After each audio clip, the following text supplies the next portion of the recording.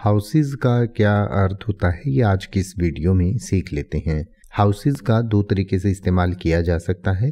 एक तो हाउस का प्लूरल यानी बहुवचन होता है हाउसेज यानी कि एक से ज़्यादा हाउस को हम हाउसेज कहते हैं और हाउस का अर्थ होता है भवन, मकान, राजकुल, राजघराना, घर या आवास। तो एक से ज़्यादा भवनों को, मकानों को राजकुलों, राजघरानों, घरों या आवासों को हम हाउसेज कह सकते हैं।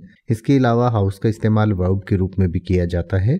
तो वर्ब के रूप में हाउस का इस्तेमाल जब हम प्रेजेंट इनडेफिनेट टेंस में ही शी इट या सिंगुलर थर्ड पर्सन के साथ करते हैं तो रूल के अकॉर्डिंग इसके साथ हम एस लगाते हैं, जिससे हाउसेज बनता है और हाउसेज का अर्थ होता है कि हाउस करता है या करती है। और हाउस करने का अर्थ होता है घर में रहना, मकान देना, घर देना, आश्रय देना, घर दिलाना टिकाना या रखना।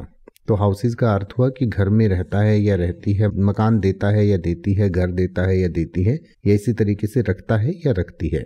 जैसे कि अगर आप ये कहना चाहें कि यहाँ आसपास के कुछ घर बहुत पुराने हैं तो आप कहेंगे some of the houses around here are very old some of the houses around here are very old या अगर आप ये कहना चाहें कि इस क्षेत्र में घर बहुत महँगे हैं तो आप कहेंगे houses are very expensive in this area houses are very expensive in this area या अगर आप ये कहना चाहें कि वह पुराने घरों का नवीनीकरण करता है और उन्हें लाभ पर बेचता है तो आप कहेंगे he renovates old houses and sells them at a profit अब आप ऐसे ही किसी भी वर्ड का मतलब हिंदी और इंग्लिश में यूट्यूब पर सर्च कर सकते हैं। आपको मेरी वीडियो मिल जाएगी, जिसमें आप बिना किसी फालतू बकवास के सीधा उस वर्ड का मतलब समझ पाएँगे। तो ऐसी ही वीडियोस को देखते रहने के लिए चैनल को सब्सक्राइब करें और बेल आइकन को प्रेस करें।